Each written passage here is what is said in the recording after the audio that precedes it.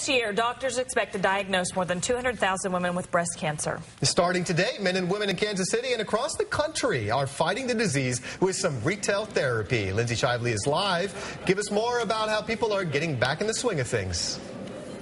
Hey, good morning, Curtis and Chris. So therapy is the key word. You get to spend some money and get some retail therapy. And this is all about therapy for breast cancer survivors. This is Breast Cancer Awareness Month. We think a lot about fighting the disease and getting through it. But then what?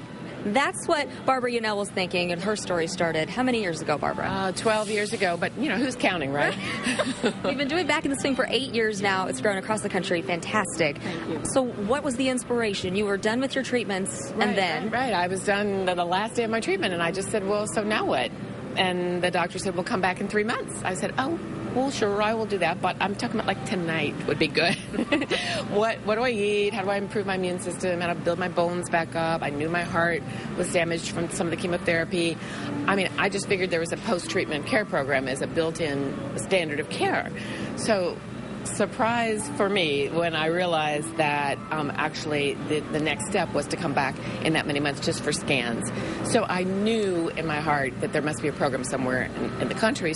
Did some research, found that there were no programs, and I thought, is it just me, or is it that 3 million breast cancer survivors and 12 million cancer survivors also did a fundraiser in 2000 actually to start to raise awareness and to see if I was, you know, just me, right? Right. And indeed, everybody said, you know, 10 years later, I'm still falling asleep at my desk. I have this neuropathy in my hands.